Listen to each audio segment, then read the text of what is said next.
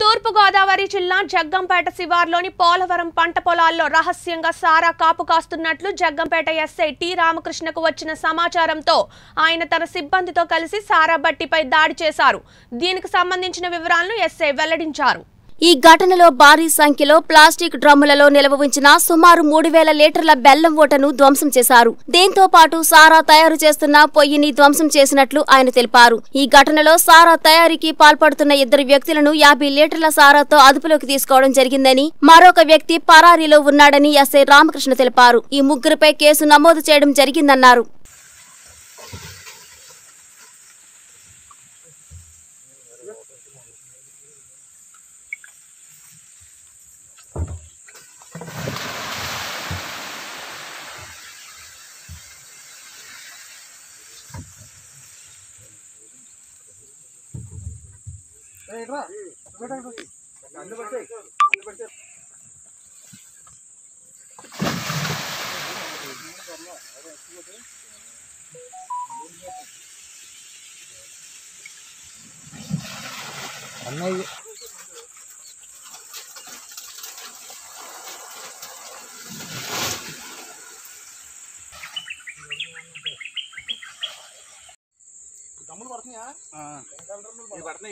పడుతున్నాయి? పడుతున్నాయి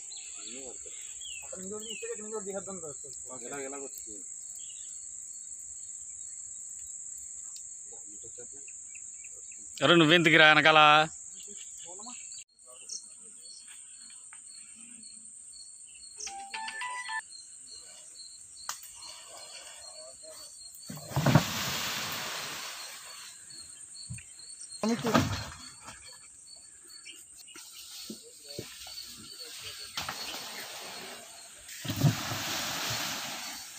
చేపలు అవి కూడా తెచ్చి.